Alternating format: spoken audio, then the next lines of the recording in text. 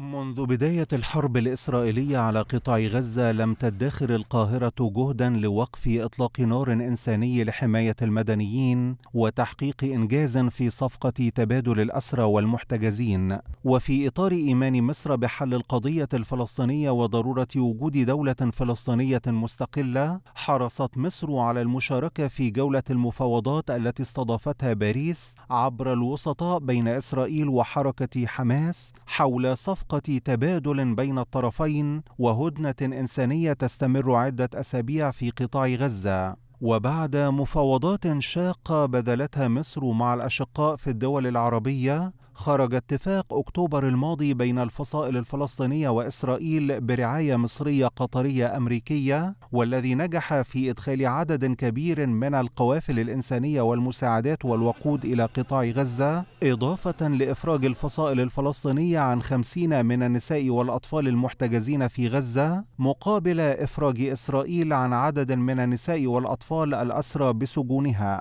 الجهود المصرية حظيت بإشادة العالم وفي مقدمتها الرئيس الأمريكي جو بايدن الذي ثمن وقتها الدور المحوري الذي تقوم به مصر وجهودها الإيجابية على جميع المسارات ذات الصلة بالأزمة الحالية وأكد على تقدير الولايات المتحدة للمواقف المصرية الداعمة للاستقرار في المنطقة. ومع استمرار التعنت الإسرائيلي لوقف الحرب استضافت القاهرة مفاوضات شاقة بين الأطراف لإنقاذ الشعب الفلسطيني من مخاطر الإبادة الجماعية والجوع الكارثي وتفشي الأمراض بسبب العدوان الإسرائيلي الغاشم على قطاع غزة. وتهدف الجولة الجديدة من المفاوضات إلى التوصل إلى صفقة لإطلاق سراح الإسرائيليين المحتجزين لدى الفصائل الفلسطينية في قطاع غزة وإيجاد صيغة يمكن يمكن أن توقف الحرب الإسرائيلية على القطاع المدمر بشكل نهائي.